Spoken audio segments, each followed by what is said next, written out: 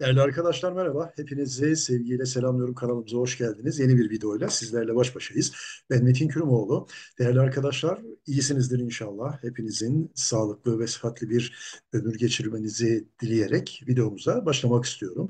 Değerli öğrencilerim bildiğiniz üzere TYT 3 adım Türkçe sorularını çözüyor idik. Kanalımızda bununla ilgili bir oynatma listesi var. Kanalımıza yeni gelen arkadaşlar varsa onlar hoş geldi. Onlar için de bir bilgilendirme yapalım. Ee, kanalımızdaki oynatma listelerini tıklayarak oradaki TYT 3 adım e, soru videolarıyla e, buluşabilirler. Aynı zamanda bu videonun üstteki kartları tıklayarak oradan da ilgili oynatma listesine tıklayarak bundan önceki videolarımızı izleyebilirler. Değerli öğrencilerim bu videomuzda ikinci ve üçüncü adım sorularına geçiyoruz. Birinci adım soruları kitabımızda olan sorular e, kanalımızda mevcut. Dolayısıyla bu videomuzda ikinci ve üçüncü adım sorulardan seçme konular üzerinde seçme sorularla sizlerle beraber olacağız. Sözü uzatmadan hızlıca arkadaşlar sorularımıza geçelim. İlk sorumuz ikinci adım sorularından cümle türleriyle ilgili olacak. A kategorisinden iki soru, iki ve beşinci soruları yapacağız. Daha sonra farklı kategorilere geçeceğiz. Şimdi e, ikinci soruda yani ekranın soluna e, düşen soruda dikkat ederseniz beş cümleden oluşan bir paragraf var. Diyor ki burada numaralandırılmış cümlelerle ilgili aşağıdakilerden hangisi söylenemez? Birinci cümle fiil cümlesidir diyor. İkinci cümle sıralı cümledir. Üçüncü cümle olumlu fiil cümlesidir. Dördüncü cümle birleşik yapılı cümledir. Ve beşinci cümle özneleri bağımlı sıralı cümledir. Bunlardan hangisi söylenemez? Bunun üzerinde duracağız. Ekranın sağ tarafında beşinci soru olarak gördüğünüz bölümde ise bu cümlenin diyor özellikleri aşağıdakilerden hangisinde doğru olarak verilmiştir? Beş şıktan bunu tespit edeceğiz. Şimdi değerli arkadaşlar, e, öncelikle kısa bir e, açıklama yapayım, sonra sorunun çözümüne geçelim. Şimdi biliyorsunuz fiil cümlesi yüklemi fiil olan cümlelerdir arkadaşlar. Sıralı cümle birden fazla yargı taşıyan virgül veya noktalı virgüllerle ayrılan cümlelerdir. Olumlu cümle yargı olarak bir eylemin yapıldığını, yapılabileceğini, yapılıyor olduğunu ifade eden cümlelerdir. Birleşik yapılı cümleler kendi içinde çeşitlere ayrılmakla beraber birden fazla yargı taşıyan cümlelerdir. Bunlar da kendi içinde girişik, iççe birleşik, şart birleşik, ki birleşik gibi çeşitlere ayrılır ve e, özneleri bağımlı sıralı cümle dediğimiz zaman anlayacağımız şey şudur. E, öznesi ortak olan sıralı cümle. Dolayısıyla bu gözle ne yapacağız? Sorumuza bakacağız. Ve hangisi söylenemez onu tespit edeceğiz. Sağdaki e, bölümde ise e, özellikleri, e, hangi özellikleri içeriyor. E, doğru olarak verilmiş. Buna bakacağız. E, olumlu bir cümlenin biraz önce ifade ettim. ikinci soruyla ilgili eylemin yapılabilir olduğunu ifade etmesi, yapılacağını, yapılabilir olduğunu ifade eden kurallı yükleminin sonda bulunduğu, isim cümlesi yükleminin isim olduğu ve sıralı mı, bağlı mı, birleşik mi bunlarda da tek bir yargı mı içeriyor, birden fazla yargı mı içeriyor? bunlarla ilgili konuları içeren cümleler. Şimdi isterseniz ayrıntısına geçelim ve cümlemizi e, doğru bir şekilde nasıl yapmamız gerekir bunu görelim. Şimdi arkadaşlar ikinci cümlemize baktığımız zaman doğru cevabımızın Edirne seçeneği olduğunu görüyoruz. Şimdi bunu ispat edelim. Şimdi herkes e, dinleyen siz değerli kardeşlerim hemen soruya şöyle bir baksın. Şimdi birinci cümle fiil cümlesidir. Söylenebilir mi? Söylenemez mi? Söylenebilir. Bakalım yağmur yağarken gök gürültüsü meydana geldiğinde hiç korkmam derken değerli öğrencilerim burada eylemin fiil olduğunu, fiil cümlesi olduğunu görüyoruz. Çünkü yüklemimiz nedir? Fiildir. Tamam mı sevgili arkadaşlar? Eylemimiz fiildir. Fiil olduğu için dikkat edin bakın korkmak fiili, korkmam geniş zaman olumsuzluğuyla çekimlenmiş. Ee, birinci şahıs eki almış. Dola, dolayısıyla burada burada bir e, fiil cümlesi olduğu söylenebilir. İkinci cümle sıralı cümledir diyor. Sıralı cümleler neydi? Biraz önce ifade ettim arkadaşlar. Birden fazla yargı bildiren yani çekimli fiillerle oluşturulmuş cümlelerin virgül veya noktalı virgülle ayrılmış şekline biz ne diyoruz? Sıralı cümle diyoruz. Bakın ses olsun, kuşlar ötüşerek uçsun yeter ki. Evet Şimdi burada dikkat ederseniz birden fazla yargı var ve bu yargılar birden fazla cümle ne yapılmış? Noktalı e, düzeltiyorum virgülle ayrılmış. Burada noktalı virgül de olabilir. Yani bir cümlede noktalı virgül veya virgülle ayrılıyorsa, iki cümle bağlanıyorsa birbirine öyle diyelim. Bu bir sıralı cümledir. Sevgili arkadaşlar burada da sıralı cümledir diyoruz. Bu da doğrudur, söylenebilir. Üçüncü cümle olumlu fiil cümlesidir diyor. Şimdi olumlu cümle dediğimiz zaman neydi arkadaşlar? Biraz önce ifade ettim. Bir eylemin yapıldığını, yapılabileceğini, yapılıyor olduğunu ifade etmek, gerçekleştiğini ifade etmek. Çaylar şekerli olsun ki kaşıklar şıkır şıkır ses çıkarsın. Evet, eğer arkadaşlar bu olumsuz bir cümle olsaydı burada çıkarmasın mame gelecekti ve olumsuz yapacaktı eylemi. Dolayısıyla burada böyle bir durum yok. Çıkarsın derken e, olumlu e, bir e, yargı bildiriyor. Dolayısıyla üçüncü cümlemizde çıkarabiliriz. Doğrudur. Dördüncü cümlemize bakalım. Dördüncü cümle diyor birleşik yapılı bir cümledir. Arkadaşlar birleşik yapılı cümleleri biz dört e, biçimde inceliyoruz. Girişik birleşik cümle, şart birleşik cümle, ki'li birleşik cümle şeklinde çeşitleri var. Çeşitleri var. Şimdi girişik birleşik cümle e, sevgili arkadaşlar e, içinde e, eylemsi bulunan yani fiilimsi bulunan cümlelerdir. E, şart birleşik cümle sağ ile yapılan cümlelerdir. İç içe birleşik cümle içinde farklı bir cümlenin e, olduğu cümledir. Ki'li birleşik cümle ise e, ki bağlacıyla birden fazla cümlenin bağlanması yoluyla oluşan cümlelerdir. İşte bu dört şekilde biz e, birleşik cümle diyoruz. Burada bakın konuşulacak bir şeyler olsun derken konuşulacak bir şeyler derken burada bir fiilimsi kullanılmış ve fiilimsi sıfat olarak kullanılmış. Burada bir sıfat fiil görevi gören kelime var, sözcük var. E, aynı zamanda temel cümleciğin yargısı, yüklemi de burada arkadaşlar. Dolayısıyla burada hem bir yan cümlecik hem bir temel cümlecik var. Zaten temel cümlecik her zaman vardır. Birleşik cümlelerde yan cümlecik temel cümleciği anlam olarak tamamlar arkadaşlar. Dolayısıyla burada bir yan cümlecik oluşturan fiilimsiyle yan cümle e, oluştuğundan dolayı, oluşturulduğundan dolayı bu bir girişik birleşik yapılı cümledir. Burada bir girişik birleşik cümle var arkadaşlar. Evet, doğru cevap Edirne demiştik. Söylenemez. Neden söylenemez? Arkadaşlar beşinci cümle özneleri bağımlı sıralı cümledir diyor. Sevgili arkadaşlar burada özneleri ortak olmayan sıralı bağımsız cümle var. Sıralı bağımlı değil. Bak dikkat edin. Bak dost olsun birinci cümle. Arkadaş olsun ikinci cümle sevgili arkadaşlar. Teyzeler, amcalar olsun. Üçüncü cümle. Bakın sıralı cümleler virgül ve noktalı virgüllerle ne yapılmış? Ayrılmış. Şimdi e, bu tür cümleleri sevgili arkadaşlar öğelerine ayırırken her cümleyi ayrı ayrı ay, ayıracağız. Şimdi öznelerinin ortak olup olmadığını nereden keşfedeceğiz? Öğelerine ayıralım. Evet olsun ne olsun dost. Olsun ne olsun arkadaş. Bakın özne farklı. Teyzeler amcalar olsun ne olsun? Teyzeler amcalar olsun. Bakın üçünün de öznesi farklı. Dolayısıyla özneleri ortak değil.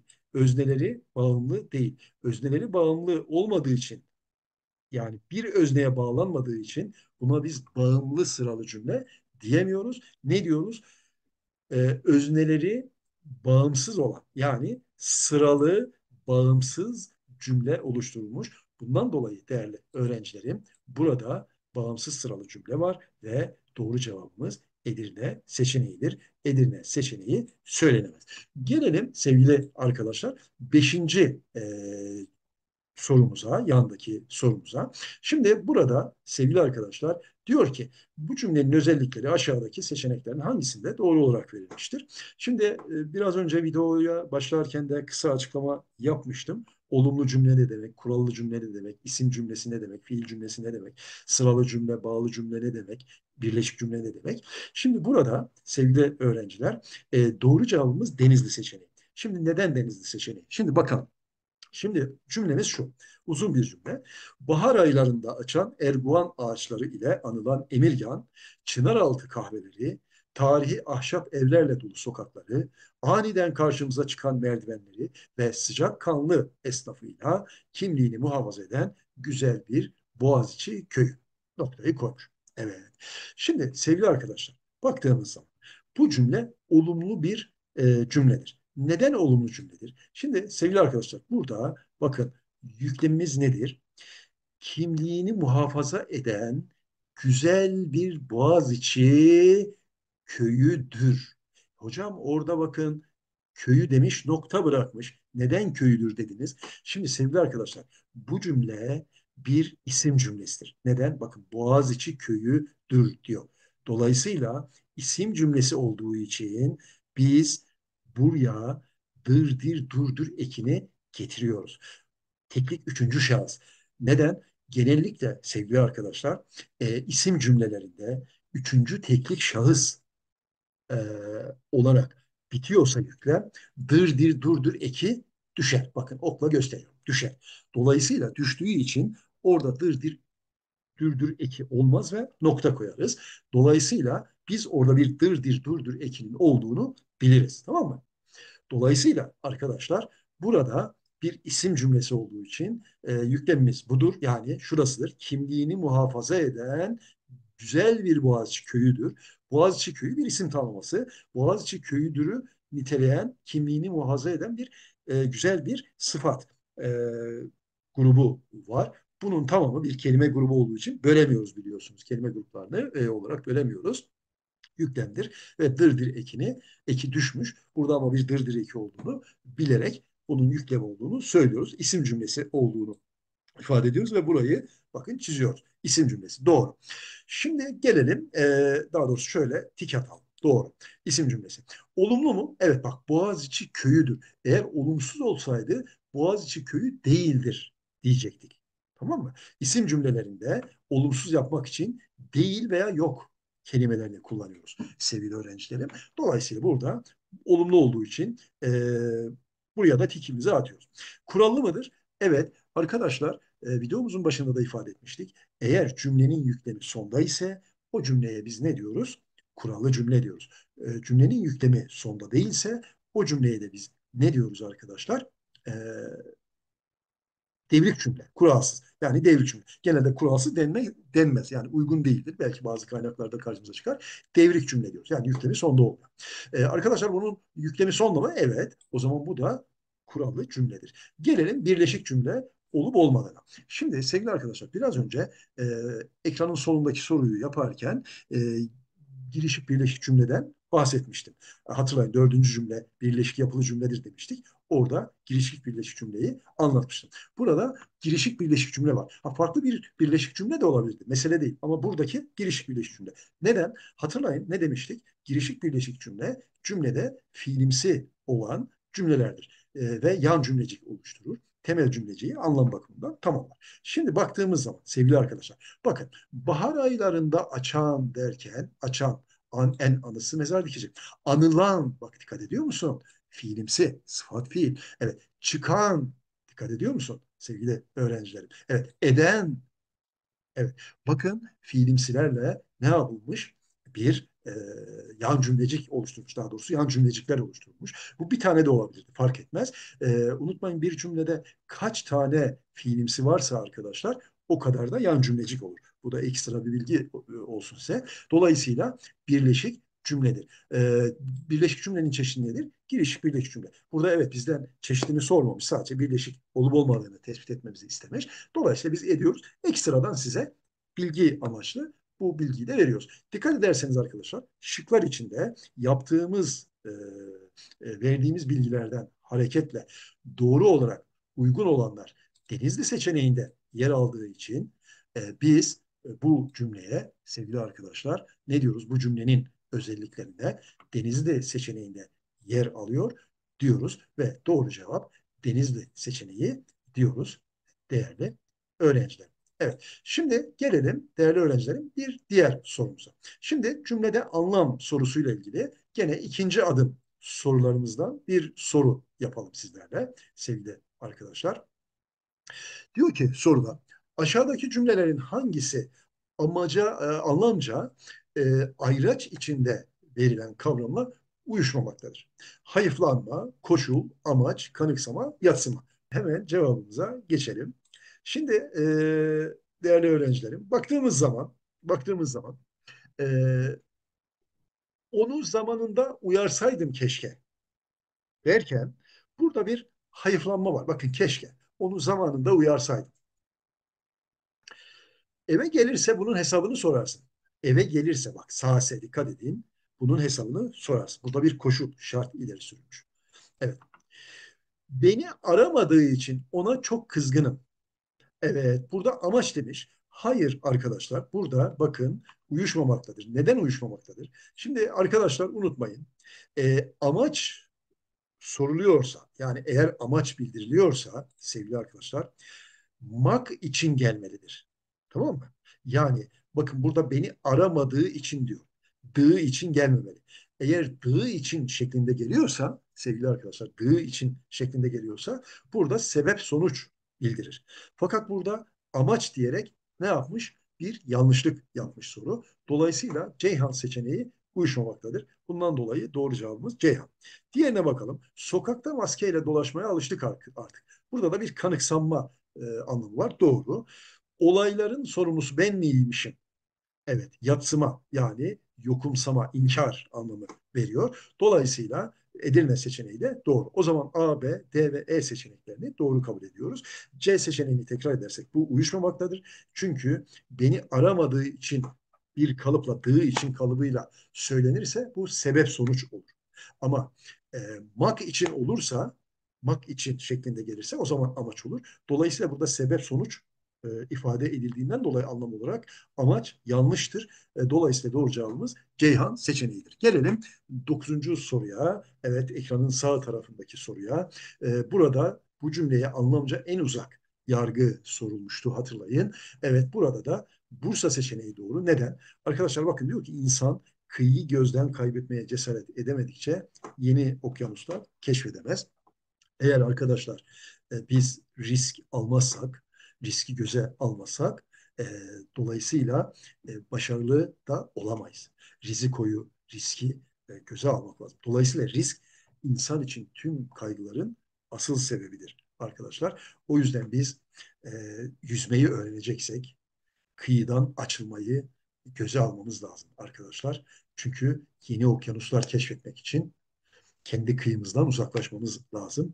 Kendi e, dar çevremizden e, uzaklaşmamız lazım ki e, hem yüzmeyi öğrenelim hem yeni okyanusları keşfedelim. Bundan dolayı arkadaşlar en uzak yargı e, B seçeneğidir. Ama büyük keşifler meraklı kafaların ürünüdür. Dahilere bu sıfatı kazandıran çılgınlık ve maceracılıktır. Hiç kimse yeni bir şeyler denemeden farklıya ulaşamaz. Değişim için risk almak kaçınılmazdır. Bunlar daha yakındır bu cümleye. Bunların içinde en uzak olarak Bursa seçeneği yer almakta değerli öğrenciler. Ve değerli öğrencilerim şimdi isterseniz başka bir soruyla devam edelim ve sorumuzu yapalım. Evet, diğer sorumuz cümlenin öğeleriyle. Gene ikinci adım sorularımızdan e, olacak e, değerli öğrencilerim. Şimdi e, birinci sorumuzla dördüncü sorumuzu ele alalım. Şimdi birinci sorumuzda diyor ki bu cümlelerin hangisinde isim fiille kurulmuş söz öbeği diğerlerinden farklı bir öğe olarak kullanmıştır. Bak dikkat edin. İsim fiille kurulmuş söz öbeği. Yani bir kelime grubu isim fiille kuruluyor ve bu öğede diğerlerinden farklı bir öğe olarak karşımıza çıkıyor. Ne olabilir bu e, sevgili arkadaşlar? E, bir e, dolaylı tümleç olabilir, zarf tümleci olabilir, nesne olabilir vesaire. E, bunu keşfedeceğiz. Diğer soruda ise yandaki, sağdaki soruda ise, dördüncü soruda ise yukarıdaki cümlede bulunan yan cümlecikler sırasıyla cümlenin hangi öğeleridir? Hatırlayın biraz önce yan cümlecik kavramı üzerinde durmuştuk. Şimdi o soruyu çözerken de gene üzerinde duracağız. Şimdi gelelim sorumuzun cevabına değerli arkadaşlar. Şimdi sevgili öğrencilerim e, birinci sorumuzda e, doğru cevabımız Adana seçeneği. Şimdi neden Adana seçeneği arkadaşlar? Şimdi birinci sorumuza dikkat edin. Sanatçının görüşünü okumaya başladığı eserde hemen hissediyor. Arkadaşlar hisseden kimdir? Hisseden kimdir? Odur değil mi? Bakın burada bir gizli özne var. Odur. Peki o neyi hissediyor? Sanatçının görüşünü. Bakın burada bir belirtili nesne karşımıza çıkıyor arkadaş. Belirtili nesne karşımıza çıkıyor. Peki o zaman ispatını yapalım. Diğerlerinde özde. Tamam mı? Bakalım. Şimdi bakın. Tabii bu arada bize ne dedi? İsim fiille kurulmuş söz öbeği değil mi? Şunu da bir ispatlayalım. Sanatçının görüşü derken arkadaşlar bu nedir bir? tamlama. İsim fiille kurulmuş bir söz öbeği. Bakın görüş, görmek fiili iş, iş, uş, üş ekini almış. Sonra çekim eki almış. Sanatçının ismiyle bir araya gelerek bir kelime grubu oluşturmuş. Dikkat ettiniz mi sevgili arkadaşlar? Burada bir aslında isim fiil grubu var. İsim fiil grubu var. Evet. Normalde isim fiil grubu. Ee, sevgili arkadaşlar bu tür tamlamalara isim tamlaması ismi de veriyoruz. Yani e, burada sevgili arkadaşlar isim fiillerle yapılan tamlamalar e, kimi kaynaklar isim fiil grubu kabul ediyor. Kimi kaynaklar e, sevgili arkadaşlar isim tamlaması olarak kabul ediyor. Bununla ilgili kanalımızda bir video var muhakkak izleyin. Geçtiğimiz yıllara kadar e, arkadaşlar ÖSYM bunu isim fiil grubu olarak kabul ediyordu. Son 2021 yılındaki bir soruda artık bu görüşünden vazgeçtiğini bize göstermiş oldu. Konuyla ilgili ayrıntılı bir videomuz var. Ona bakar, bakarsınız. Burada isim fiil ne yapmış? Bir tamlama kurmuş arkadaşlar. Tamlama eki e, olarak ü ekini almış bakın arkadaşlar. Akuzatif, ü akuzatif eki yani belirtme hali ekini almış. Bu ek nedir? Nesnelere gelerek nesne hali ekidir. Nesne yapar, belirtili nesne yapar. Dolayısıyla sorduğumuz soruya da nesne olarak cevap verdiği için buradaki kelime grubu yani fiilimsinin oluşturduğu bakın ış, iş, uş, üş ış, iş, uş, üş isim fiil e, iki. Bu ne yaptı sevgili arkadaşlar? Tamlamada nesne göreviyle kullanıldı. Bu tamlamamız nesne görevini e, gördü bu cümlede. Diğerlerinde özne. İspatını yapalım. Bazı hafif tohumların yayılması rüzgarla sağlanır.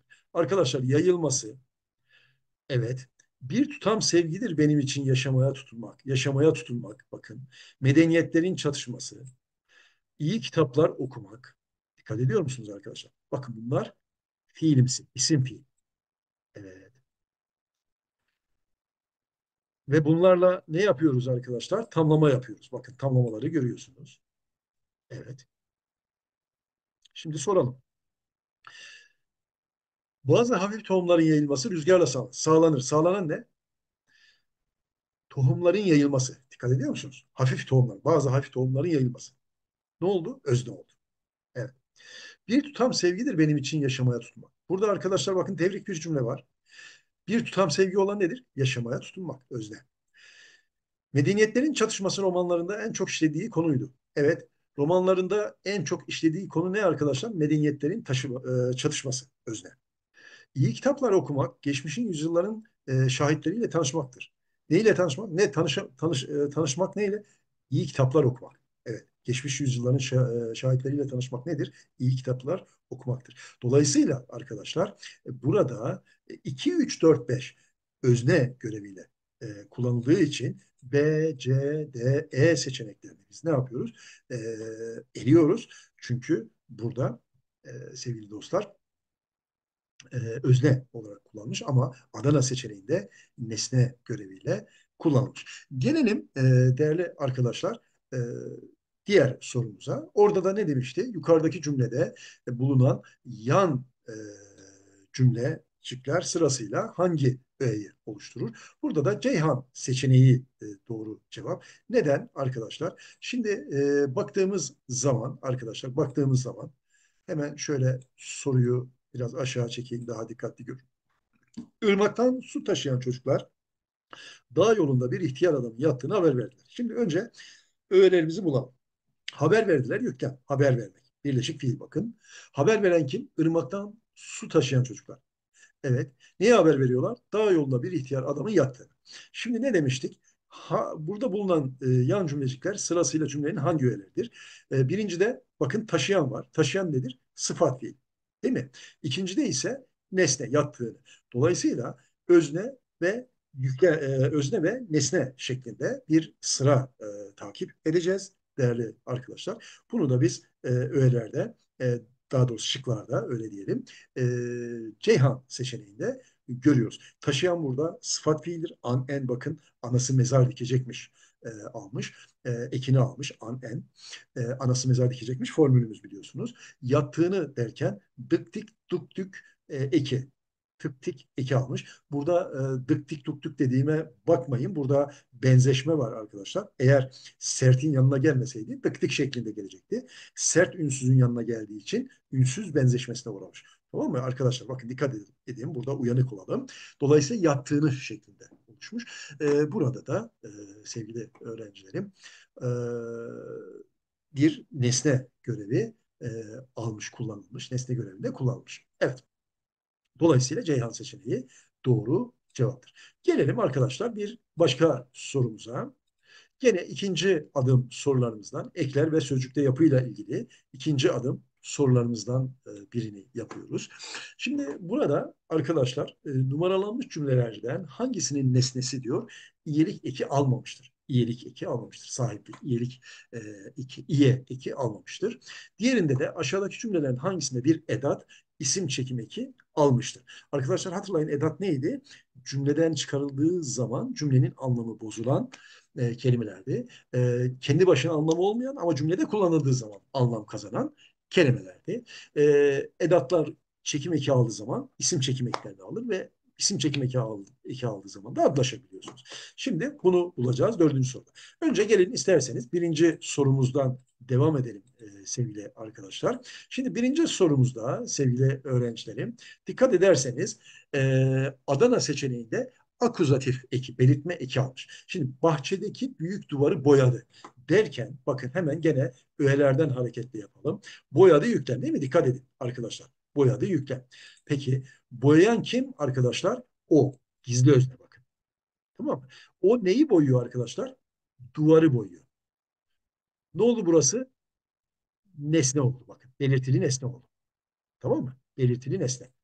Neden belirtili nesne? Çünkü belirtili nesne neyi kimi sorusuna cevap verir. Burada neyi kimi sorusuna cevap verdi mi? Verdi. Tabii öğeleri bulurken arkadaşlar önce özneyi yüklemden sonra. Önce yüklemi buluyoruz sonra özneyi sonra diğer öğeleri. Dolayısıyla öznemiz belli. E, bize e, ifade ettiği e, arkadaşlar kelime nedir? Hangisinde diyor e, iyilik eki almamıştır? Burada duvarı kelimesi geriye kalıyor. Duvarı kelimesinde zaten ı eki akuzatif belirtme ekidir. Dolayısıyla nesne hali ekidir. Bu iyilik eki değildir. Peki ispat edelim diğerlerini. Fikirlerini son derece sığ bulmuşsunuz. Kimin fikirleri arkadaşlar? Onların fikirleri. Bakın dikkat edin. Onların fikirleri değil mi? Tamlayan düşmüş burada. Tamlayanı düşmüş bir e, isim tamlaması var. E, hocam bak burada da bir i var. Hangisi? Birincisi bak onların fikirleri. İyilik ekimiz burada. Bu ekimiz ne? Bu ekimiz de akuzatif eki. Yani nesne hal eki. Çokluk üçüncü şahıs iyilik eki almış. Diğer cümleye bakalım. Yeni romanımızı fuarın son gününde tanıttık. Kim? Biz. Neyi? Yeni romanımızı. Yeni romanımız kimin? Bizim. Bakın iyilik ekimiz aldık. Sonra bak burada gene akuzatif eki gelmiş. Dikkat ediyor musun? Evet. Çokluk birinci şahıs iyilik eki. Diğerine bakalım. Yeni komşumuz gömleğini beğenmedi. Kimin gömleği? Benim gömleğim arkadaşlar. Benim gömleğim. Bakın burada gene iyilik eki almış. Gene yeni komşumuz derken bizim komşumuzdur. Değil mi arkadaşlar? Burada gene bakın bir iyilik ekimiz var. Yeni komşumuz derken. Ee, bakın burada bir akuzatif eki var. Gene belki bizi kandırmak istiyor olabilirler. Ama öncesinde iyilik eki kullandığı için o zaten e, bizim dışımızda bir olay. Dolayısıyla teknik birinci şahıs iyilik ekiyle teknik üçüncü şahıs iyilik ekimizi de ne yaptık? Aldık arkadaşlar. Gelelim diğerine. Jüri becerisini takdir etmiş. Kimin becerisi burada arkadaşlar? Onun becerisi değil mi? Gene bir tamlığını düşmüş. Becerisi. Burada sı, si, eki, iyilik eki görevinde, teknik üçüncü şahıs iyilik eki görevinde kullanılmış.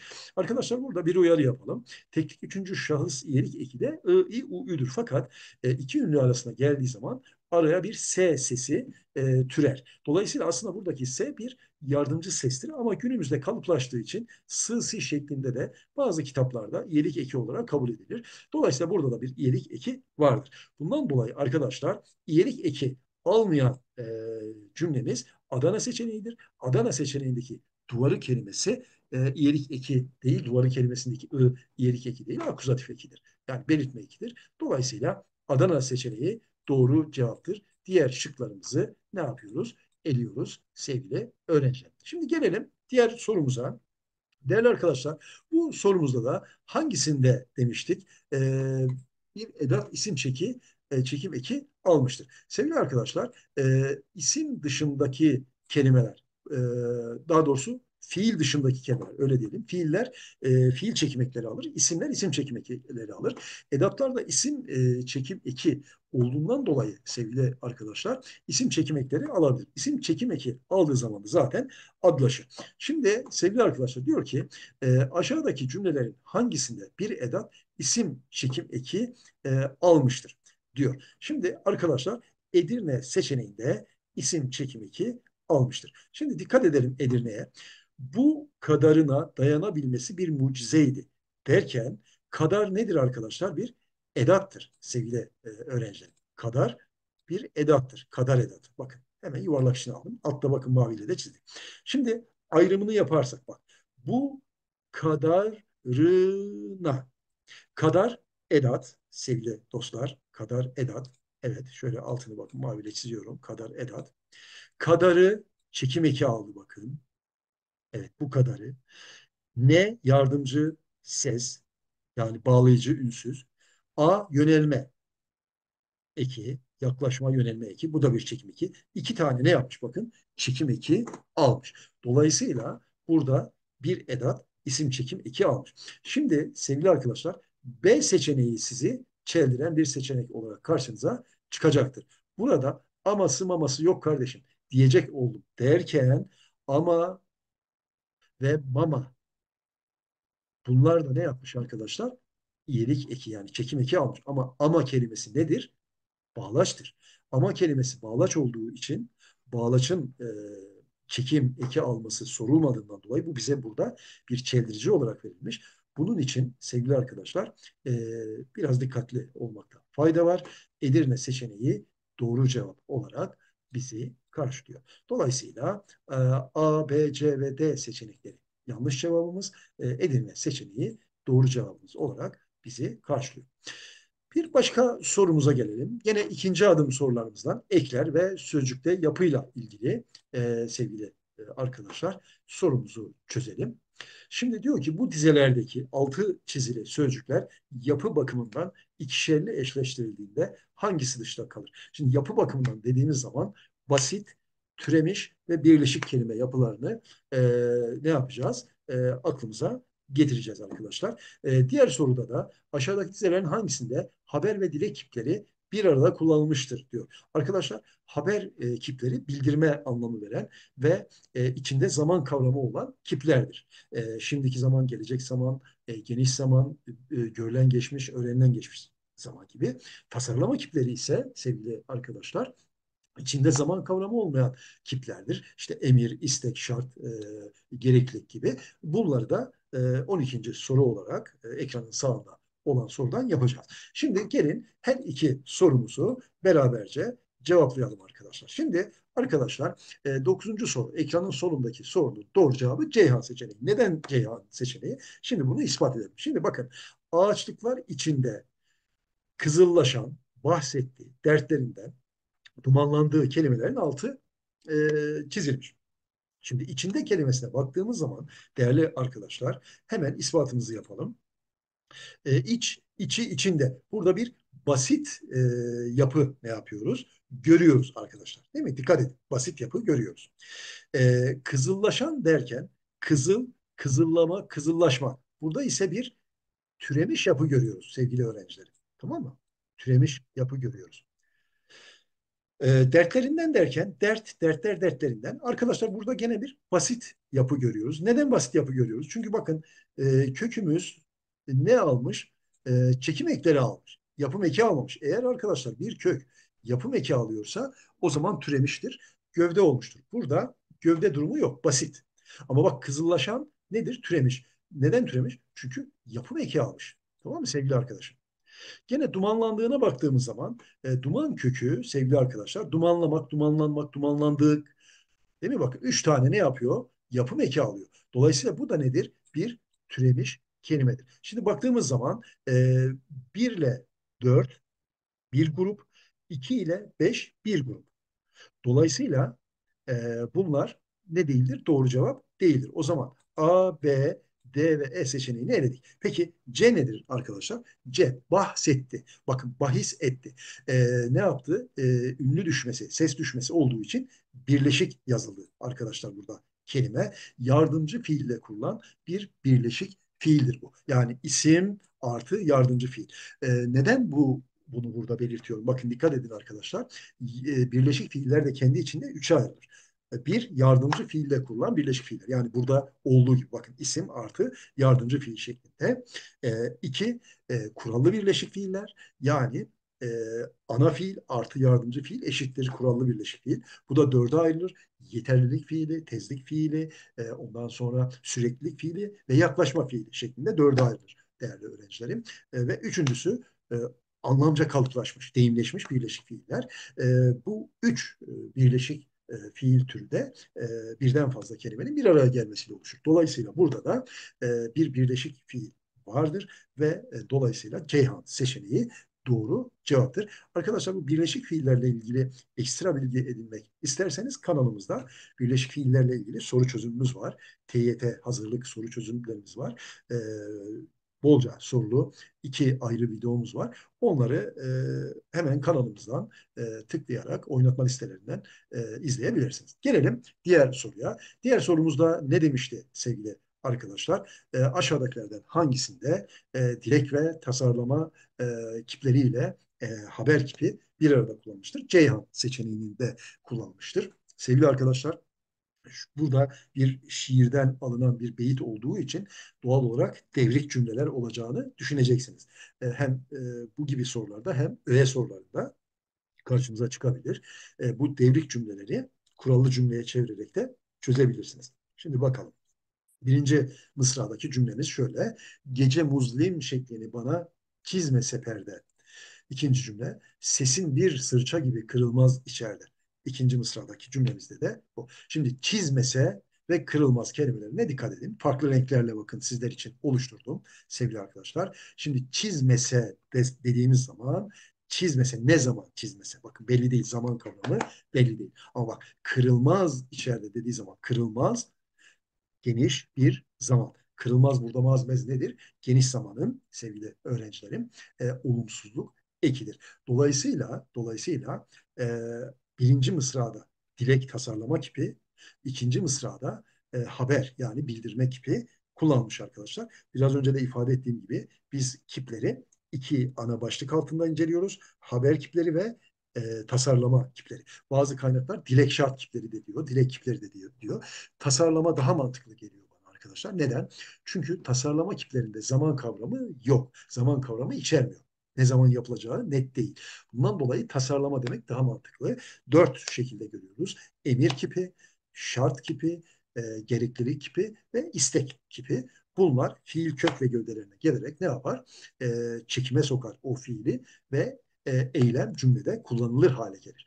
E, unutmayın arkadaşlar bir cümlede fiil kök halinde veya gövde halinde kullanılmaz. Muhakkak çekimlenerek kullanılması lazım. İşte e, bu dilek tasarlama kipleri de çekmeklerinden bazısıdır. Haber kiplerinde ise arkadaşlar adı üstünde haber, bildirme kipi. E, haber kiplerinde ise zaman kavramı vardır arkadaşlar. Yani içinde zaman vardır. Beş ayrı zaman kipimiz var.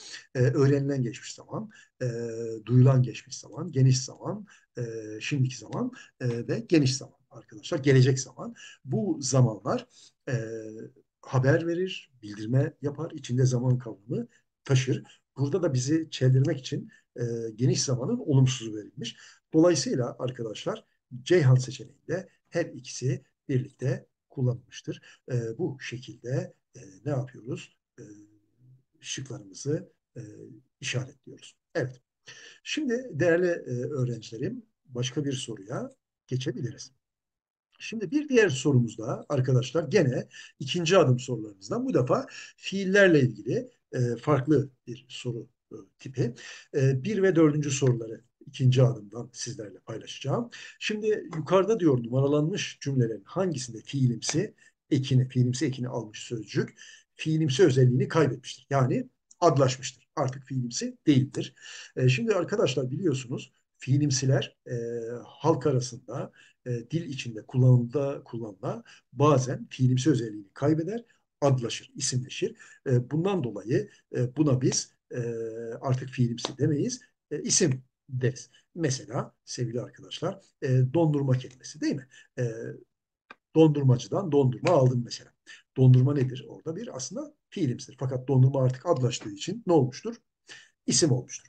Ee, ekranın sağındaki dördüncü sorumuzda ise numaralanmış cümlelerin hangisinde çekimli fiil yapı bakımından ötekilerden farklıdır demiş. Burada da yapısına göre çekimli fiili inceleyeceğiz.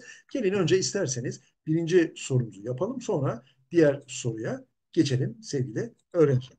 Şimdi sevgili arkadaşlar e, baktığımız zaman doğru cevabımızın e, Adana seçeneği olduğunu söyleyebiliriz. Neden?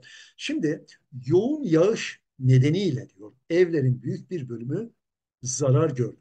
Şimdi arkadaşlar buradaki yağış kelimesi yağmak fiilinin yağmak fiilinin arkadaşlar ış iş ış iş e, fiilimsi ekini almasıyla oluşmuştur. Iş iş fiilimsi ekini almasıyla oluşmuştur. İsim fiil ekini almıştır. Fakat burada yağış derken arkadaşlar bir doğa olayının adı ortaya konmuş. Dolayısıyla burada artık sevgili öğrencilerim e, buna biz e, fiilimsi demiyoruz. Buradaki yağış nedir? Artık addır. Yani adlaşmıştır. Addır. E, dolayısıyla sorumuzun doğru cevabı budur. Yani buradaki fiilimsi özelliğini e, ne yapmış? E, kaybetmiştir. Peki diğerlerinde öyle midir? Hemen ona bakalım sevgili arkadaşlar. Bakın altlarını çizdim. Bu toprakları güzelleştirmek hepimizin öncelikli görevidir. Hepimizin öncelikli görevi nedir arkadaşlar? Bu toprakları güzelleştirmek. Bakın arkadaşlar burada güzelleştirmek eylem anlamını da ne yapmakta? Dikkat edin barındırmakta içinde. Çam ağaçlarıyla ihtişamını sürdüren caddede. Bakın sürdüren. Bakın sürme eylemi eylem anlamını sürdürüyor. Sürdüren cadde. Sıfat olmuş gene. Sırtını yamaçlara yaslamış, vadiler arasına sığınmış bir sınır kentiydi. Kentin özelliği ne arkadaşlar? Ağaçların e, yamaçlarına yaslanmak ve vadiler arasına sığınmak. Burada gene bir fiilimsi kullanılmış. Birden fazla iki fiilimsi sıfat göreviyle kullanılmış. Dikkat edin. İsi, e, sıfat fiil e, görevi. E, beşinci maddeye bakarsak tanıdığım insanların birçoğu derken hangi insanlar? Tanıdığım. Nasıl insanlar? Hangi insanlar? Tanıdığım insanlar. Burada gene insanın sıfatı olmuş ve eylem içermekte. Dolayısıyla arkadaşlar B, e, C, D ve E seçeneklerinde e, aynı zamanda fiilimsler eylem anlamı içerdikleri için fiilimsi özelliklerini ne yapılmış? Kaybetmemiş. Ama Adana seçeneğinde arkadaşlar e, isim fiil, isim fiilliğini, isim fiil özelliğini kaybetmiş ve sonuç olarak sonuç olarak değerli öğrencilerim e, isimleşmiş. Bundan dolayı Adana seçeneğini doğru cevap olarak işaretliyoruz. Gelelim sevgili arkadaşlar diğer sorumuza. Ne demiştik? Çekimli fiil yapı bakımından ötekilerden farklıdır. farklıdır. Arkadaşlar doğru cevabımız e, Edirne seçeneği. Neden? Şimdi baktığımız zaman eylemlerimize, çekimli fiillerimize baktığımız zaman düşürdü, içirdi, pişirdi, geçirdi ve bilirdi kelimelerini görüyoruz. Fiillerini görüyoruz, eylemlerini görüyoruz. Şimdi arkadaşlar e, yapısına göre dediğimiz zaman basit fiil mi, birleşik fiil mi, türemiş fiil mi? Bunları e, basit fiil mi, birleşik fiil mi, türemiş fiil mi? Bunları e, inceleyeceğiz. Şimdi basit fiil e, içinde e, yapım eki olmayan, bulunmayan fiiller. E, türemiş fiil içinde yapım eki e, olan yani gövde halinde olan fiiller. Birleşik fiil ise sevgili arkadaşlar birden fazla kelimenin bir araya gelmesiyle oluşan eylemlere biz diyoruz. Dolayısıyla burada e, 1, 2, 3 ve 4. E, fiiller arkadaşlar, çekimli fiiller türemiş yapılıdır. Beşincisi ise basit yapılır. Hemen bakalım. Bakın düşmek fiil kökü sevgili öğrenciler.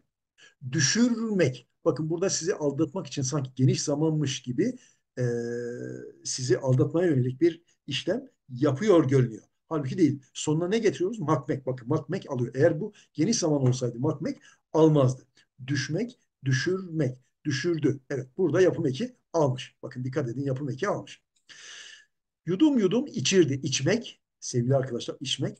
İçirmek, dikkat et, içirdi. Ona içiriyor bak dikkat edin. Evet. Gene yapım eki aldı. Dolayısıyla yapım eki aldığı için ne oldu? Gövde oldu sevgili dostum. Yemeği yüksek sıcakta pişirdi. Pişmek, pişirmek. Bakın makmek ekimizi aldık. Dikkat edin. Yapım eki aldığı için burada da gene bir gövde oldu. Türemiş fiil oldu. Tatilini çok sevdiği köyünde, geç, köyünde geçirdi. Geçmek, geçirmek, makmek bakın alabiliyor. Burada da gene bir yapım eki aldı ve gövde oldu arkadaşlar. Ama onu bütün korkularından kurtaracağını bilir idi. Bak bilirdi. Bilirmek olmuyor bakın. Dikkat ettiniz mi? Bilmek, evet kök. Bilir, geniş zaman eki. Dikkat edin. Di, ek fiilin hikayesi. Burada dikkat edin arkadaşlar. İmek fiili düşmüş. Bilir ididir bu. Tamam mı? Sevgili dostlar. Bilir idi. Bak bilirmek olmuyor. Dikkat ediyor musun? Bak bilirmek olmuyor. Bilir idi. Dolayısıyla burada bir tane yapım iki e, almadığı için veya birden fazla yapım eki almadığı için sadece çekim eki aldığı için e, Edirne seçeneği e, nedir? Doğru cevaptır. Basit yapılıdır. Diğerleri türemiş e, yapılıdır arkadaşlar. E, bu hususa da dikkat çekelim. Bir de e, burada son olarak arkadaşlar bu soruyla ilgili önemli bir şey söyleyelim. Şimdi bakın çekimli fiil dediği zaman, çekimli fiil dediği zaman şunu anlayacaksınız arkadaşlar e, çekim ekleriyle şahsa ve zamana bağlanan e, veya kip e, eki alarak şahsa zamana veya belli bir kipe bağlanan eylemlere biz çekimli fiil diyoruz. Şimdi fiiller tek başlarına arkadaşlar e, cümlede kullanılmazlar. Yani kök veya gövde halinde. Dolayısıyla cümlede kullanımları e, şahsa ve zamana bağlanarak olur. Dolayısıyla şahsa ve zamana bağlanan e, fiiller de çekimli fiil adını alır. Peki nasıl olur bu? Bir, e, kip ekleriyle, kip eklerini biraz önce ifade ettim, ikiye ayırmıştık. E, bildirme, tasarlama e, ekleri ve bildirme ekleri. E, bunlar, bu kip ekleri e, çekime sokar. Aynı zamanda şahıs ekleri. E, kip eklerinden sonra gelen şahıs ekleri. Bunlar e, fiilleri ne yapar? Çekime sokar. Eğer tasarlama kipi eki, e, bildirme kip eki veya şahıs eki alıyorsa bir fiil o zaman çekimli fiildir. Bunu unutmayalım değerli öğrenciler. Peki. Şimdi değerli öğrencilerim gelelim e, bir diğer sorumuza. E, bir diğer sorumuzla bakalım neler e, işleyeceğiz. Hemen geçelim. Evet. Evet. Diğer sorumuz ses olaylarıyla ilgili. Arkadaşlar gene ikinci adım sorularımızdan ses olaylarıyla ilgili bir soru. E, diyor ki bu parçada aşağıdaki ses olaylarından hangisi yoktur? E, birinci sorumuzda. E, ekranın sağındaki dördüncü sorumuzda da bu parçadaki numaralanmış sözcüklerin hangisinde ses olayı yoktur.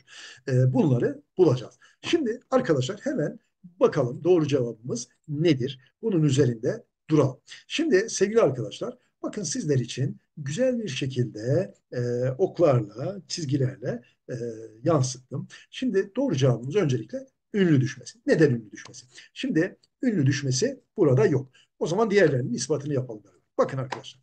Şimdi e, ünsüz benzeşmesine hemen bir örnek verelim. Adana seçeneği neden yok? Şimdi ünsüz benzeşmesi neydi sevgili arkadaşlar? Sert ünsüz uyumu. Sert ünsüzün yanına sert ünsüzlerin gelmesi. Şimdi etkisinin derken sevgili arkadaşlar etmek fiili etki kelimesindeki K ile gelmiş.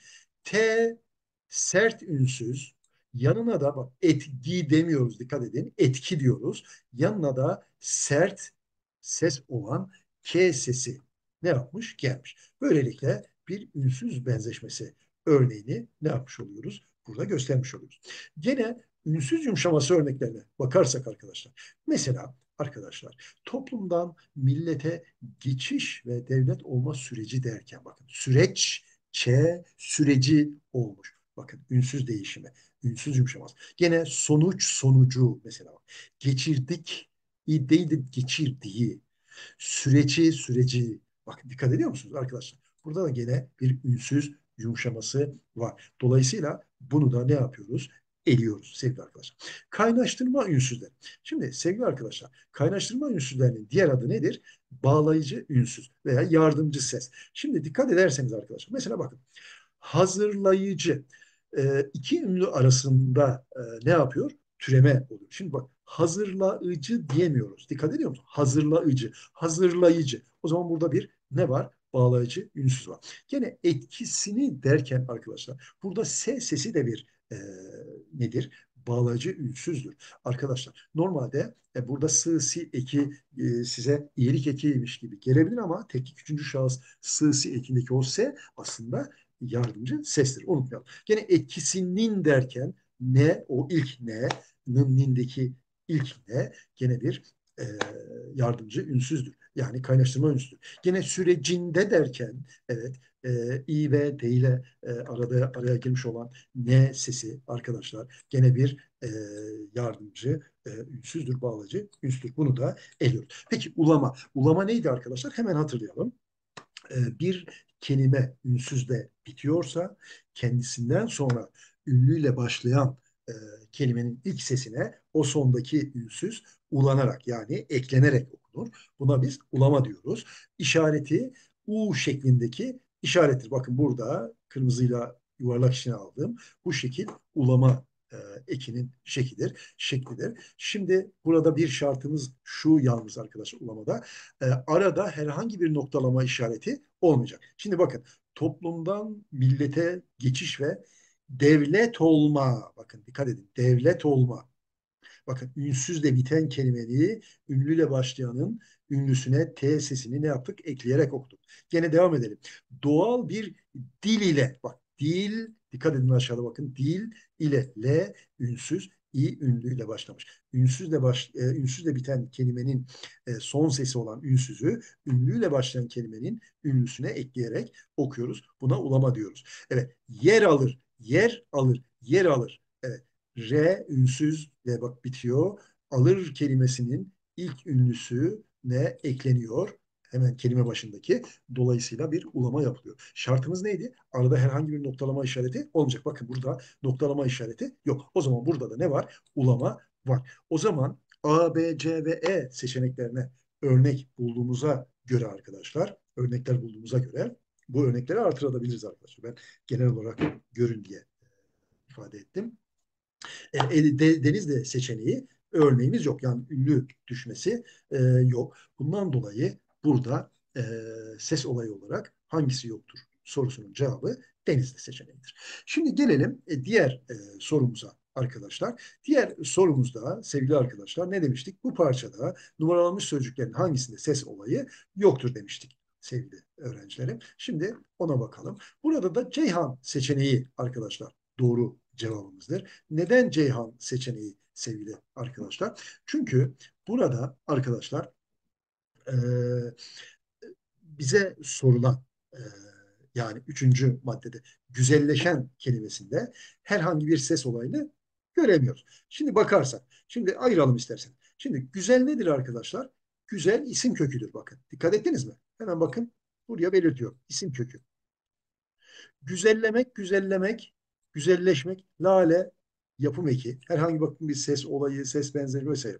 Güzelleşmek, yapım eki. Bakın iki tane yapım eki aldı gövde oldu. Dikkat edin. Evet, yapım eki aldı. Güzelleşen, fiilimsi eki. Bu da gene bir yapım ekidir arkadaşlar. Herhangi bir olayı görmüyoruz. Görmedik.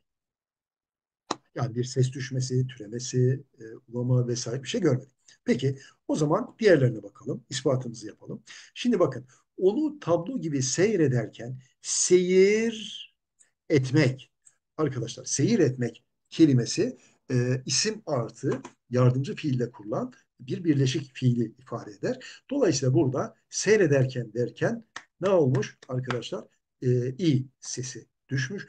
Aynı zamanda iken kelimesindeki e, zarf fiilikindeki i düşmüş. Burada bir e, yumuşama e, var. Aynı zamanda ünsüz düşmesi, değişimi var. Gene seyrederken derken seyir etmektir. Arkadaşlar bakın burada T, D'ye e, şeklinde bir yumuşama e, oluşturmuş. O zaman e, ünlü düşmesi, ünsüz yumuşaması yani değişimi ve ünlü düşmesi e, olmak üzere üç ayrı ses olayını görüyoruz. Hatırlıyorum kelimesine baktığımız zaman hatırlamaktır aslında. Hatır isim kökü değerli arkadaşlar. Hatırlamak, e, isimden fiil yapan ek. E, yor eki geldiği için yanına arkadaşlar yor eki geldiği için e, yor ekinin şu özelliği var. Yor eki kendisinden önce gelen düz geniş e, sesleri, ünlüleri e, düz dar veya yuvarlak dar yapar. Hatırlıyorum değil de hatırlıyorum şeklinde söylenir. Bu kural sadece yor ekiyle ilgilidir. Eğer bu sevgili arkadaşlar e, yardımcı ünsüz olsaydı orada bu sıkıntıyı görmeyecektik. Dolayısıyla burada da bir daralma yani bir ses olayı var. Ardına kelimesine gelince insanlara ardına kadar açan, e, sevdiği insanlara ardına açan derken e, ardına kelimesine gelirken art kelimesi art evet ardı bir yumuşama oluşmuş arkadaşlar ve beşinci kelimeye gelince sevincini diyor. Sevinç kelimesi ç ile biter biliyorsunuz. Sevinci dediğimiz zaman bir yumuşama oluyor. Aynı zamanda sevincini derken ne sesi gelerek bir türeme onun sevinci bakın arkadaşlar onun sevincini taptaze e, sunuyor. E, dolayısıyla e, burada da bir türeme de var, yumuşama da var. E, dolayısıyla e, A, B, D ve E seçeneklerinde ses olayı gözükürken, görülürken e, Ceyhan seçeneğinde biz ses olayını ne yapmıyoruz? Görmüyoruz. Dolayısıyla e, Ceyhan seçeneği doğru cevaptır değerli öğrenciler. Gelelim bir diğer sorumuza. Bu sorumuz sözcük türleriyle ilgili. Gene sevgili arkadaşlar ikinci adım e, sorularımızdan birisi. Şimdi e, yedinci soruyla onuncu soruyu sizler için değerlendireceğim. Önemli gördüğüm için burada bazı ek bilgiler de sizinle paylaşmayı hedefliyorum. Şimdi sevgili arkadaşlar bu parçadaki diyor numaralanmış sözcüklerin türü aşağıdakilerin hangisinde sırasıyla verilmiştir? Sırasıyla sözcükleri göstereceğiz. Yani isim mi, sıfat mı, zarf mı, zamir mi, edat mı, bağlaç mı? Ee, diğer soruda da arkadaşlar aşağıdaki dizelerin hangisinde altı çizili sözcükler tür bakımından aynıdır? Yani isim mi, sıfat mı, zarf mı, zamir mi, edat mı, bağlaç mı, ünlem mi gibi arkadaşlar. Hemen sorumuzun çözümüne geçelim değerli öğrenciler. Şimdi değerli öğrencilerim e, doğru cevabımız e, Ceyhan seçeneği. Hemen ispatını yapalım. Zarf, sıfat, edat, zamir şeklinde bir sıralama var. Neden? Hemen tanımlarını da vererek paylaşalım. Diyor ki bakın otlar hakkında daha pek çok şey biliyordu.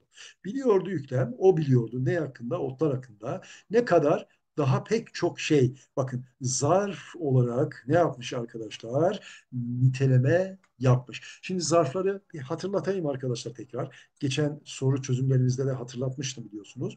Fiilleri, fiilimsileri, sıfatları ve kendi cinsinden kelimeleri niteleyen e, kelimelere biz zarf diyoruz. Bakın burada daha ne yapmış? Pek zarfını niteleyerek, e, fiilde, fiilde tabii bu arada niteleyerek ne yapmış? Bir görev görmüş. Dolayısıyla burada zarf göreviyle kullanılmış. Alçaklarda biten gümüş renkli çayırları da çok severim. Nasıl çayırlar arkadaşlar? Gümüş renkli çayırlar. Burada çayırın neyi olmuş arkadaşlar? Sıfatı olmuş bakın dikkat edin. Şimdi sevgili arkadaşlar burada çok önemli bir şey söyleyeceğim.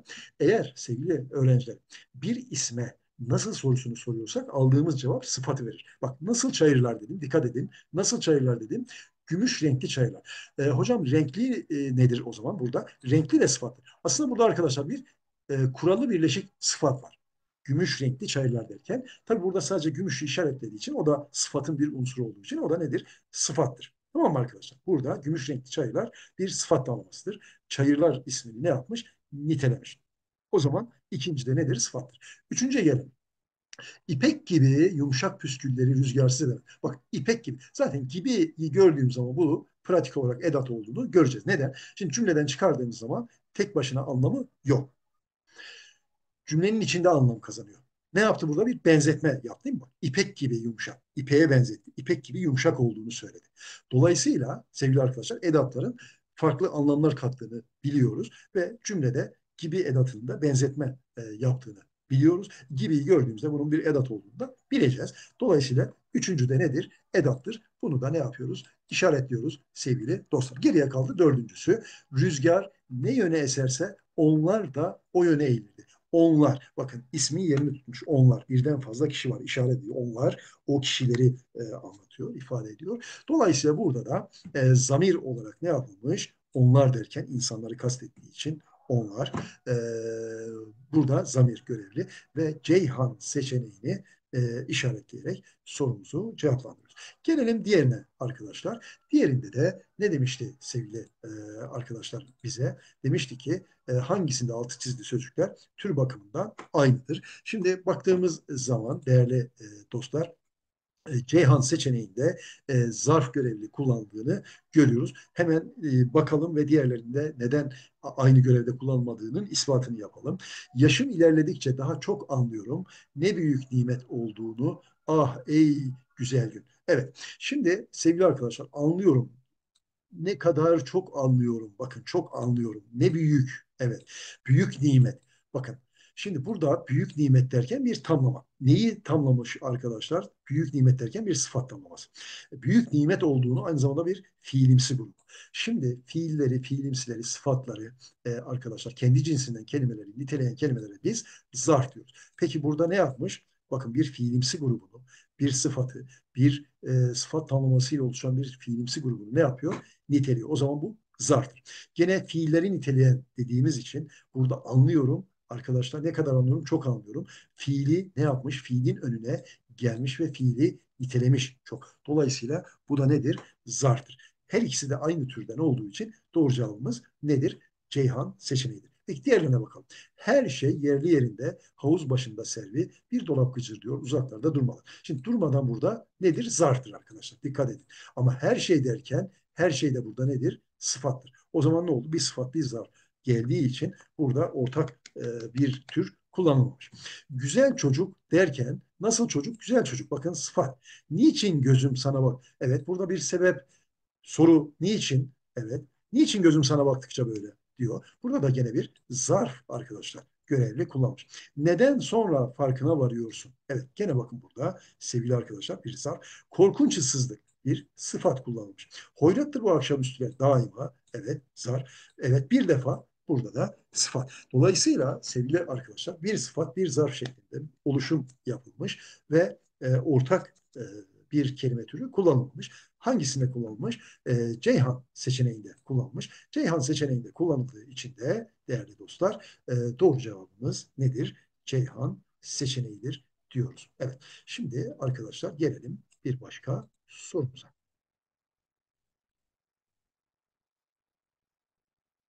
Evet. Sözcükte anlam ikinci adımla ilgili.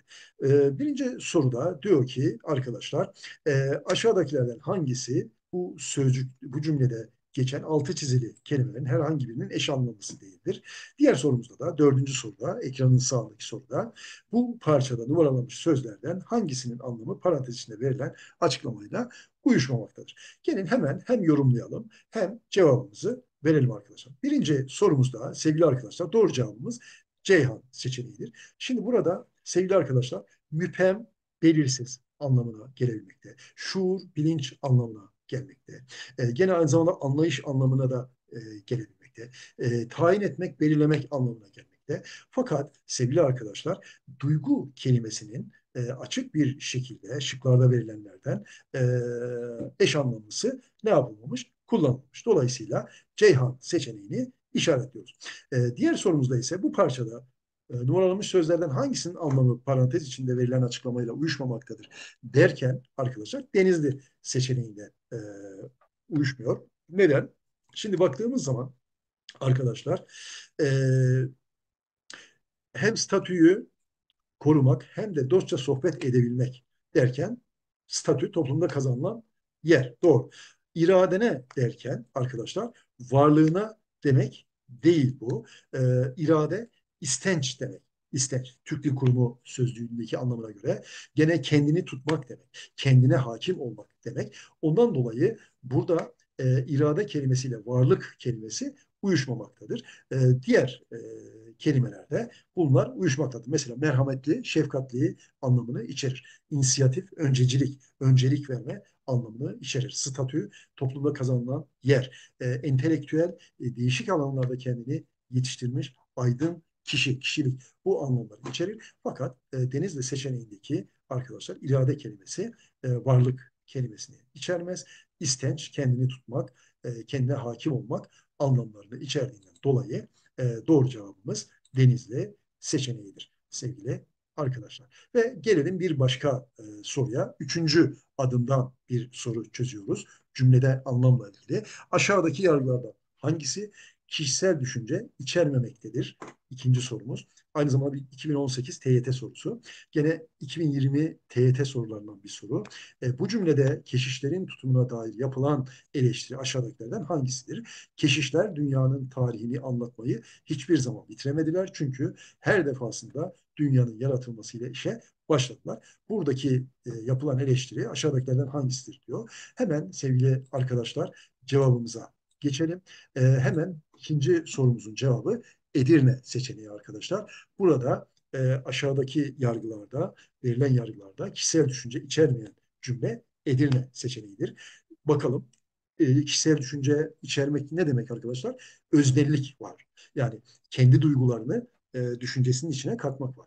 E, nesnel bir e, cümle değilse kendi kişisel duygularını, düşüncelerini e, içine katmaz e, söz söyleyen veya yazar. Dolayısıyla burada Edirne'de bunu görüyoruz. Burada e, somut ve nesnel bir düşünceyi e, ön plana çıkarmış Edirne seçeneği. Coğrafyacı açısından ada, konumu, yüzey şekilleri, yüz ölçümü, nüfusu ve iklimi incelenecek her yanıyla suyla çevrili bir kara parçasıdır.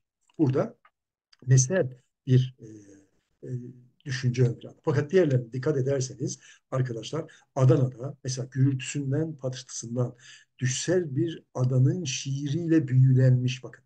içine duyguyu kattı. Azımsanmayacak. Gene B seçeneğinde yönündeki özlemlerini çoğunlukla evet uzak bir ada görüntüsüyle. Ceyhan seçeneğinde en çetin güçlüklerle karşı karşıya düşünen. Evet. Robinsonculuk oynayan. Bakın. Gene Denizli seçeneğinde değerlendirilen ada. Yalnızlığın sembolü olmasıyla gibi ifadeler arkadaşlar e, içine e, öznellik katmakta. Kişisel düşünceler katmakta. E, dolayısıyla A, B, C ve D seçenekleri e, burada ayrılıyor cevabımızdan. Edirne seçeneği doğru oluyor.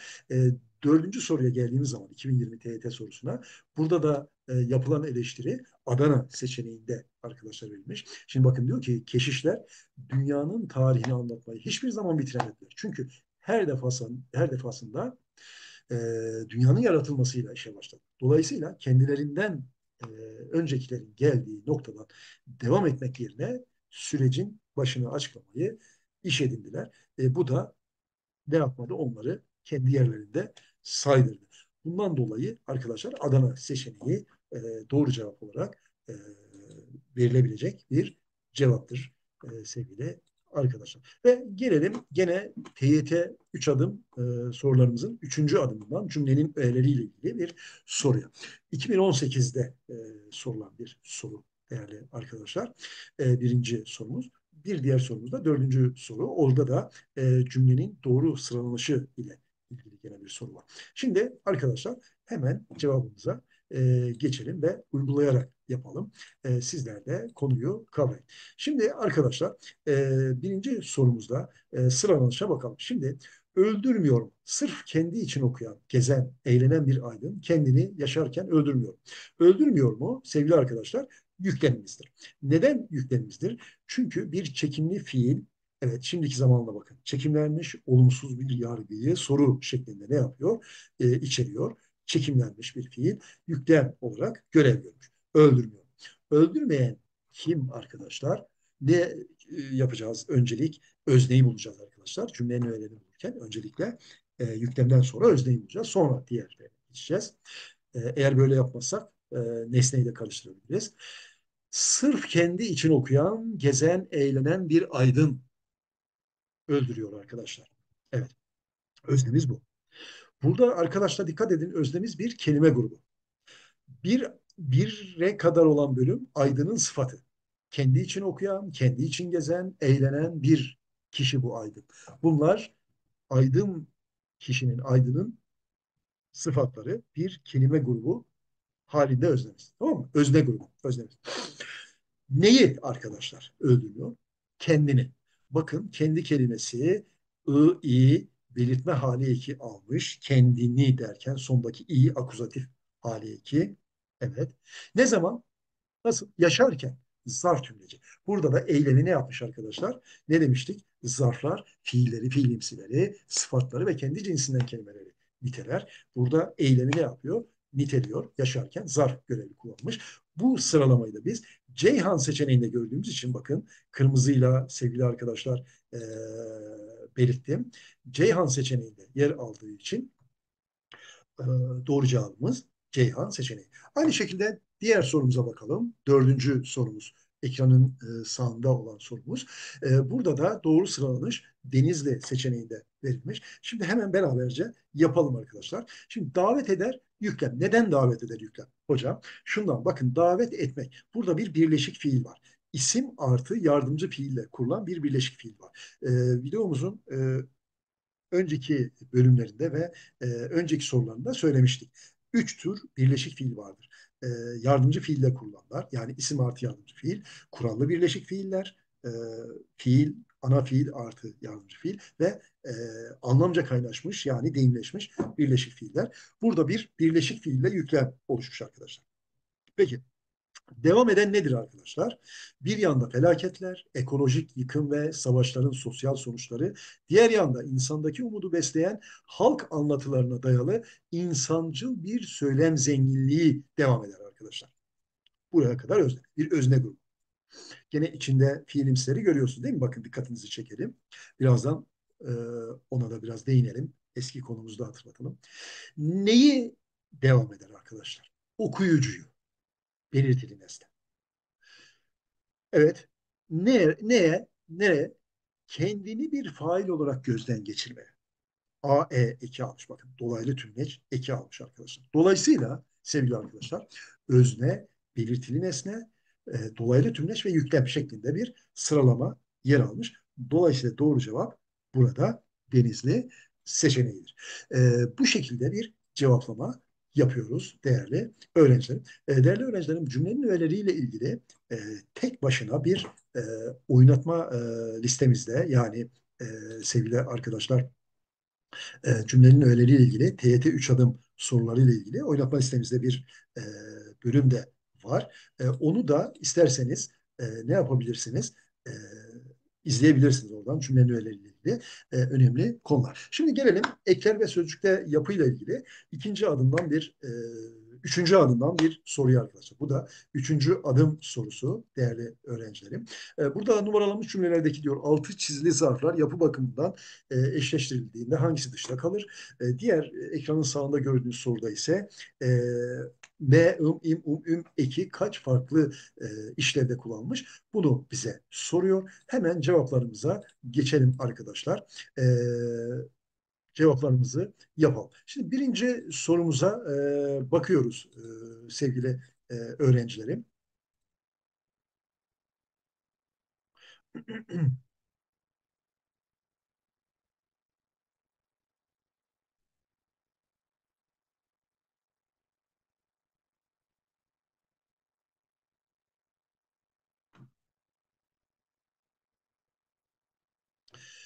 Şimdi e, arkadaşlar e, birinci soruda e, diyor ki numaralanmış cümlelerdeki altı çizili zarflar yapı bakımından eşleştiğinde hangisi dışta kalır? Yani e, basit mi, türemiş mi, zarfın çeşidi bunları soruyor birleşimle. Şimdi bakalım. Şimdi arkadaşlar doğru cevabımız Bursa seçeneği. Neden? Şimdi bakın burada bitkin görünüyorsun derken fiili zarf ne yapmış? Nitelemiş. Şimdi bitkin kelimesi bitmek kelimesinden kınkin, gıngin eki yapım ekiyle ne yapılmış? Türemiş. Dolayısıyla burada bir gövde. Fakat diğer şıklarda diğer şıklarda e, türemiş zarf kullanılmamış. Bakalım hangisi dışta kalıyor? Birleştirirsek, bir araya getirirsek. Şimdi beraber derken arkadaşlar bakın evet beraber derken e, burada bir basit zarf görüyoruz. E, elbette derken gene bir basit zarf görüyoruz. Fakat bak git gide derken bir birleşik zarf, bugün derken bir birleşik zarf görüyoruz.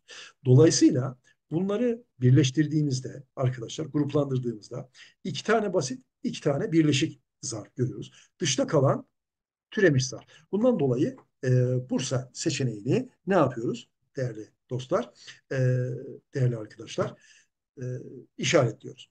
E, dördüncü soruya geçersek yan tarafta. Burada da arkadaşlar beş şekilde ım, im, um, im, iki görevde kullanmış. Farklı işlevde kullanmış. Şimdi öncelikle baktığımız zaman sevgili arkadaşlar çocuklar okula uyum sürecini kolay atlattılar derken e, bir yapım eki göreviyle ne yapılmış? Kullanmış. Gene öğretmenin sınıf hata can kulağıyla dinleyenlerden biri de benim derken gene burada bir bildirme göreviyle kullanılmış. Benim okul buraya çok yakın derken bir ilgi eki e, göreviyle arkadaşlar ne yapmış? E, kullanmış. Gene e, sorunları çözmek için çalışanlarla her seferinde tek tek görüşürüm derken birinci teknik şahıs eki göreviyle kullanmış. Gene annem pazara beni götürmek istiyor derken gene burada bir iyilik eki göreviyle kullanmış. Dolayısıyla yapım eki, ek fiil bildirme eki, ilgi hali, birinci teknik şahıs eki, iyilik eki gibi görevlerde kullanıldığından dolayı arkadaşlar beş farklı e, görevde kullanılmıştır e, diyoruz. E, bundan dolayı e, cümleleri incelerken bu noktaya da dikkat e, etmeliyiz sevgili öğrenciler. Evet, şimdi değerli öğrencilerim gelelim bir diğer e, sorumuza.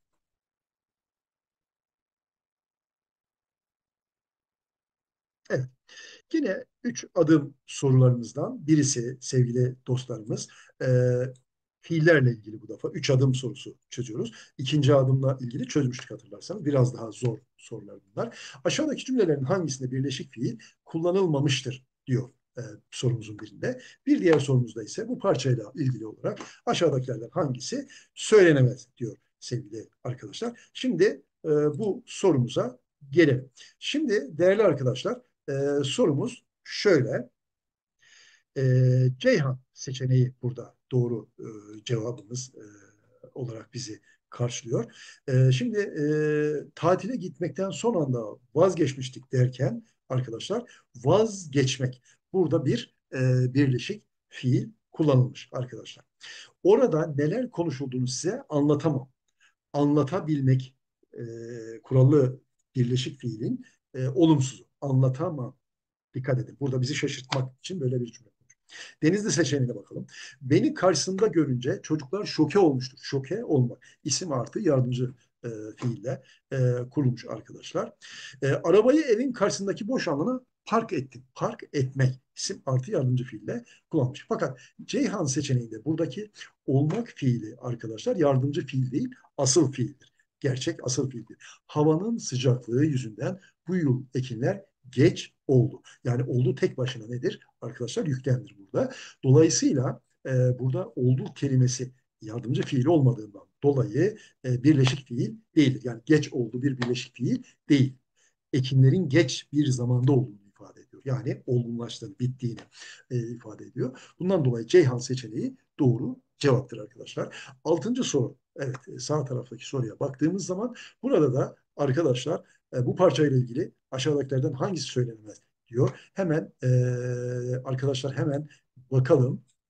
E, burada birleşik fiile yer verilmiştir diyor. Evet hemen bakalım arkadaşlar birleşik fiilleri göster. Bak ulaşılabilirlik, sahip olmak, yorumlayabilen arkadaşlar dikkat edin sahip olan gene bakın üretebilen, değerli kılmak, tutabilmek. Şimdi bunlar birleşik fiil. Kimisi isim artı yardımcı fiilde, kimisi kurallı birleşik e, fiil arkadaşlar dikkat ederseniz. Mesela bak sahip olmak, sahip olan derken orada isim artı yardımcı fiil. Ama bak ulaşılabilirlik diyor. Ulaşmak, ulaşılmak, ulaşabilmek, ulaşılabilmek. Evet dikkat edin. Dolayısıyla sevgili arkadaşlar e, bu noktalara dikkat ediyoruz. Birleşik fiile yer verilmiş. Peki türemiş yapılı fiil var mı? Tabii ki var. Bak mesela ulaşmak, ulaşılmak ne oldu? Yardımcı fiil aldı kelime değil mi? Evet. Dolayısıyla sevgili arkadaşlar görev. Mesela üremek, üretmek bakın yapım eki alıyor. Dikkat ettiniz mi? Evet. Mesela şekil, şekillemek, şekillenmek. Dikkat ediyor musun arkadaşlar? Evet. Ee, isim artı isimden fiil yapan ek şekillenmekte bakın gelmiş. Dolayısıyla bir fiil gövdesi oluşturur. Peki çekimli fiiller kullanmıştır. Evet. Mesela kılmıştır diyor bak. Şekillenecektir arkadaşlar. Bakın burada ne görüyoruz? Çekimlenmiş fiil görüyoruz.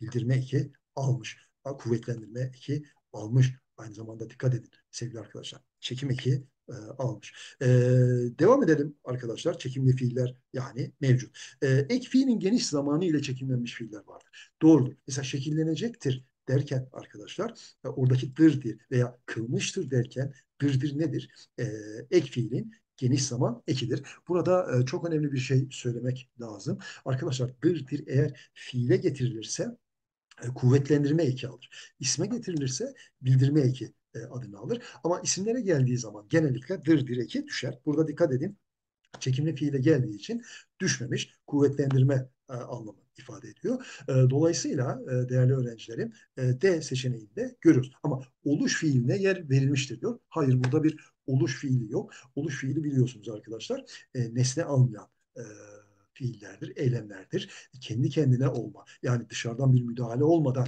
e, yapılma, olma, oluşma anlamı e, ifade eder. Mesela e, kızarmak, mesela sararmak gibi. E, bu bunlar nedir? Oluş fiilidir. Nesne almazlar. Dolayısıyla oluş fiili e, burada e, yer almamakta. Onun için değerli öğrencilerim e, doğru cevabımız e, e seçeneğidir. Şimdi sevgili arkadaşlar e, gelelim bir başka soruya. Üçüncü adım sorularından ses olaylarına değineceğiz bu bölümde, bu sorularımızda. Birinci ve dördüncü soruları sizler için üçüncü adımdan seçtim. E, birinci soruda diyor ki bu parçadaki bu parçada aşağıdaki ses olaylarından hangisi yoktur bu parçada?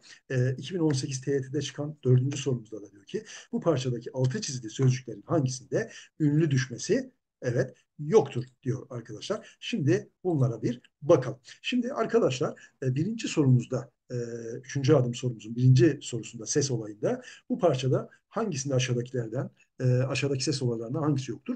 Edirne seçeneği yoktur. Ünsüz türemesi. Neden yoktur arkadaşlar? Şimdi diğerlerinin ispatını yaparken bakalım. Şimdi ilerleme derken bir ünlü düşmesi görüyoruz. Bakın orada e, çizdim ekranda. İlerilemektir aslında. İleri köktür. E, i düşmüş, ilerleme şekline gelmiş. Dolayısıyla ünlü düşmesi var. E, ünsüz benzeşmesi var mı? Var. Mesela bakın gittikçe diyoruz. Gittik ke, gitmek. T ses, sertle bitmiş. Dıktik gelip gelmiş. Dıktik eki e, T sert olduğu için dıktik şeklinde gelmemiş de tıktik şeklinde gelmiş. Evet. Sonda K var. K serttir. Cace şeklinde gelmemiş. Dikkat edin. Çaçe şeklinde gelmiş. Dolayısıyla gittikçe de de ne görüyoruz? Ünsüz benzeşmesi görüyoruz. Ee, ünsüz yumuşaması var mı? Var arkadaşlar. Mesela orada ölçme aracı derken araç ç serttir. Öyle değil mi? Ölçme aracı derken sona gelen e, iki ünlü arasında kaldığı için e, ç sesi ne oldu? Yumuşadı. Araç kelimesi aracı oldu. Biliyorsun iki ünlü arasında kalırsa o zaman yumuşama olur. Ünlü daralması var. Var, evet var mı? Bakalım. Sağlıyor. Sağlamak fiili, sağlamak e, kalıbı, sağlamak e, gövdesi, sağ İsim kökü sağlamak isimden fiil yapan ek. Orada bir fiil gövdesi oluştu arkadaşlar. Yor eki geldi sağlıyor şeklinde ifade etmiyoruz. Yor ekinin özelliği neydi? Önceki videolarımızdan hatırlayın. Ses olaylarından. E, yor eki kendinden önceki düz geniş sesleri, ünlüleri daraltır. Yani A ve E'leri daraltır. E, düz dar veya yuvarlak dara e, çevirtir, e, dönüştürür. Dolayısıyla sağlıyor şeklinde demiyoruz da sağlıyor şeklinde diyoruz. Dolayısıyla orada bir ünlü daralması da var. Fakat ünsüz türemesini biz bu e, metinde e, görmüyoruz. Bundan dolayı sevgili arkadaşlar e, doğru cevabımız Edirne diyebiliriz burada. Sevgili arkadaşlar e, dördüncü sorumuza gelirsek e, 2018 TYT e, sorusu. Burada da e, bu parçadaki altı çizili sözcüklerin hangisinde ünlü düşmesi yoktur diye soruyor. Burada da Edirne seçeneğini e, işaretliyoruz. Şimdi bakın ben sizin için köklerini de ekrana yazdım, yansıttım arkadaşlar. E, sisi zihnin bazı hallerine benzetirim. Beniz kökünden benzetirim olmuştur arkadaşlar. Benizetirim. Dolayısıyla orada beniz kelimesi birleştiği zaman i orta hece ünlüsü vurgusuzlaştığı için düşe. İki heceli kelimelerde arkadaşlar ünlü gelirse iki heceli kelimelere e, orta hece vurgusuzlaştığı için düşer ve e, bu defa ünlü düşmesi olur. Gene oynayan derken oyun kelimesi oyunayandır. U düşmüştür. Ayrıntılardan derken ayrıntıdır. Ö düşmüştür. Orta hece vurgusulaşmış. Çevreyi derken çevirmekten çevire gene orta hece düşmesi olmuş arkadaşlar. E, oradaki ünlü vurgusulaşmış ve düşmüştür. Ama işitilen kelimesinde e, böyle bir e, ses düşmesini ne yapmıyoruz? Görmüyoruz değerli öğrenciler. Evet, değerli öğrencilerim bir diğer üçüncü adım sorumuza geliyoruz. Sözcük türlerinden üçüncü adım soruları. 2018 ve 2019'da sorulan iki soru. Ee, üçüncü sorumuz ve altıncı sorumuzu sizler için seçtim. Çok önemli bu sorular. Burada bazı önemli şeyler anlatacağım size. Aşağıdakilerden hangisinde nesne sadece isim tamlamasından oluşmuştur? E, diye sorumuz gelmiş. Altıncı soruda da altı çizili sözcüklerin türü hangisinde doğru verilmiştir diyor. Şimdi bunlara bakalım değerli öğrenciler. Hemen geçiyoruz. Evet, şimdi e, üçüncü sorumuzda doğru cevabımız Ceyhan seçeneği. Nesne sadece isim tanımlamasından oluşmuştur diyor. Bakalım bunca yılın ardından sokak satıcılarının seslerini hala özlüyorum diyor arkadaşlar. Şimdi arkadaşlar özlüyorum nedir? Ee, yüklemimizdir. Şimdi özleyen kim? Kim? Ben. Gizli önce. Neyi? Sokak satıcılarının seslerini. Dikkat edin. Evet. Nesne isim tanımlamasından oluşmuş mu? Evet. Bakın sokak satıcıları arkadaşlar şimdi hemen hemen size şuradan e, tamlayan ve tamlananını göstereyim. Bakın sokak satıcılarının tamlayan sesleri tamlanan tamam mı? Evet. Sokak satıcılarının tamlayan sesleri tamlanan. Şimdi sevgili arkadaşlar tamlayan nın nin eki alarak sevgili arkadaşlar ne yapmış? Sesleri ismine yelik eki alan sesleri tamlananına bağlamış ve bir e, isim tanımlaması oluşturmuş. Bu isim tanımlaması da arkadaşlar cümlede nesne olmuş. Neden nesne olmuş? Bakın seslerini derken ı, i ekini almış ve bir belirtili nesne, akuzatif hali almış ve belirtili nesne oluşturmuş. Dolayısıyla bu cümlede isim tanımlaması e, ne yapmış? E, nesne görevinde e, kullanmış. Ama diğerlerinde öyle değil. Dolayısıyla mesela seyretti. Neyi seyretti arkadaşlar? Ne, neyi seyretti? Ağaçlarla kaplı köyleri diyor. Nasıl köy? Ağaçlarla kaplı bakın. Ne oldu burada? Sıfat oldu. Değil mi? Sıfat tanımlaması oldu. Fark ettiniz mi? Büyük babam ailenin en küçüğüne en güzel odayı vermişti. Bakın burada da gene en güzel oda, ailenin en küçüğü. Bakın burada da böyle bir durum yok. Dolaylı tümleç var. Dikkat ediyor musun? Ailenin en küçüğü isim tanımlaması ama en küçüğü ne derken dolaylı tümleç. Geçmiş günlerin özlemi içimde her gün biraz daha büyüyor. Büyüyor. Büyüyen? Geçmiş günlerin özlemi. Bakın burada özne görevinde kullanmış. Dikkat edin sevgili arkadaşlar. Emekliye ayrılınca evinin bahçesi adeta sığınağı olmuştu. Evet sığınağı olmuştu. Nere? Evinin bahçesi. Evet burada arkadaşlar e, gene e, farklı bir öğe olmuş. Dolayısıyla e, Ceyhan seçeneğinde sadece isim tanımlaması göreviyle ne yapılmış? Kullanılmış e, ve doğru cevap Ceyhan seçeneği. E, altıncı sorumuza baktığımız zaman burada da e, parçada e, kelimelerin sıralanışı sıfat, edat, isim ve zarf şeklinde arkadaşlar sıralanmış. Neden böyle sıralanmış? Hemen bunun ispatını yapalım beraberce e, buna bakalım. Şimdi e, sevgili arkadaşlar azıcık diyor bak esinti olmasa insanı eritecek kadar sıcak bir İstanbul gününde devam ederken ne kadar esinti? Azıcık. Azıcık esinti. Bakın esinti isminin önüne gelerek onu nitelemiş. Bir sıfat olmuş. Evet kadar eritecek kadar kadar gibi e, göre bunlar nedir? Edattır. Devam edelim.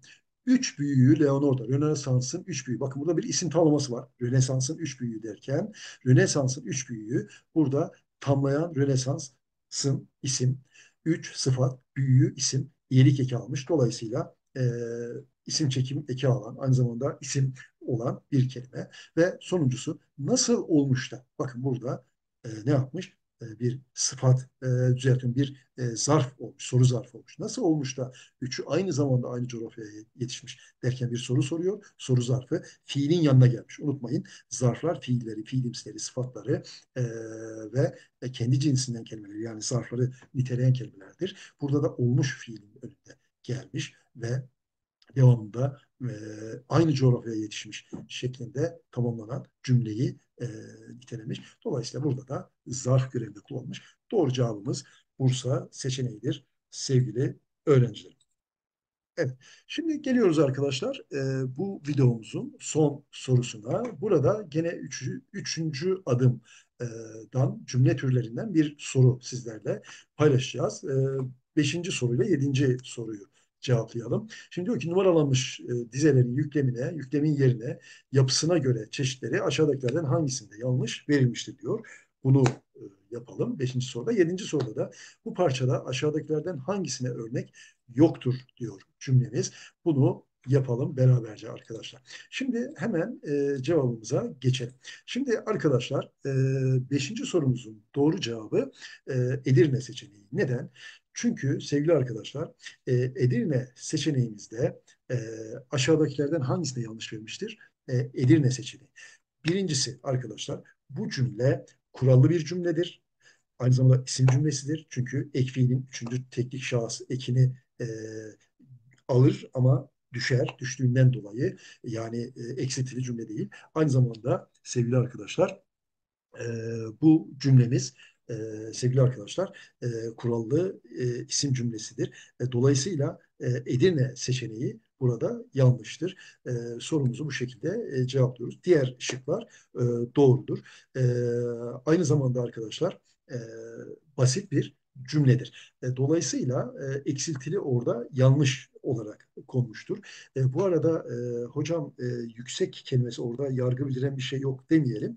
Orada yüksek kelimesi e, normalde isim cümlesi olduğu için bu e, dırdır eki arkadaşlar e, düşer. E, bundan dolayı e, orada görünmeyen bir dırdır eki vardır.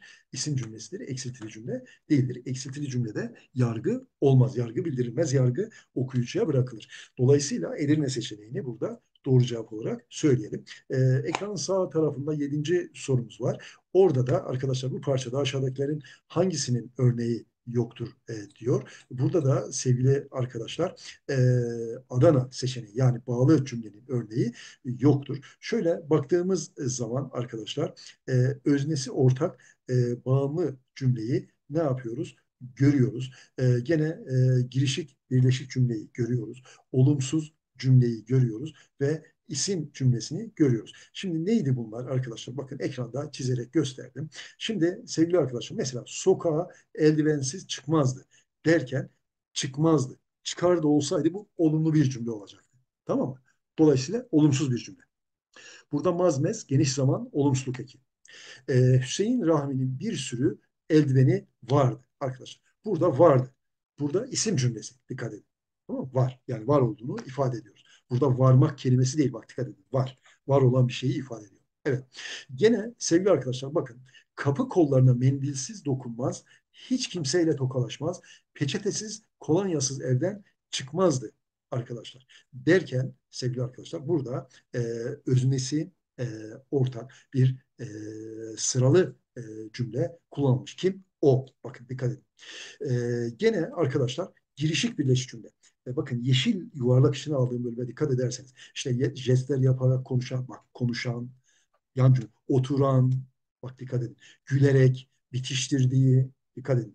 E, filmsleri görüyor musunuz arkadaşlar? E, beklenmeyecek kadar sert bir üslup derken arkadaşlar e, hatırlayanları bak burada olarak bunların hepsi e, bir yan cümlecik oluşturuyor. Yan cümlecik e, de bir e, temel cümleciğin içinde, temel cümlecikle beraber bir cümleciğin e, cümlenin içinde bulunuyorsa o zaman orada da bir girişik birleşik cümle var demektir arkadaşlar. Dolayısıyla e, öznesi ortak bağımlı sıralı cümle, girişik birleşik cümle, olumsuz cümle, isim cümlesi e, burada var, örnekleri var. Fakat bağlı cümle yok. Peki bağlı cümle olsa nasıl olacaktı arkadaşlar? Şimdi arkadaşlar e, eğer e, birden fazla yargı bildiren cümle e, ve bağlacıyla, bağlaçlarla bir araya getirilmişse, kurulmuşsa e, o zaman ona biz bağlı cümle diyoruz. Mesela şöyle olsaydı şuradaki cümle.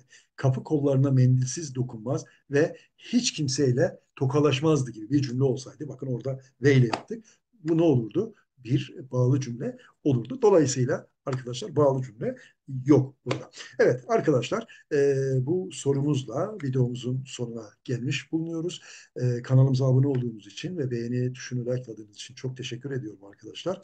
E, diğer e, üç adım sorularımızla ilgili oynatma listemiz var. Oynatma listemizden soruları çözebilirsiniz.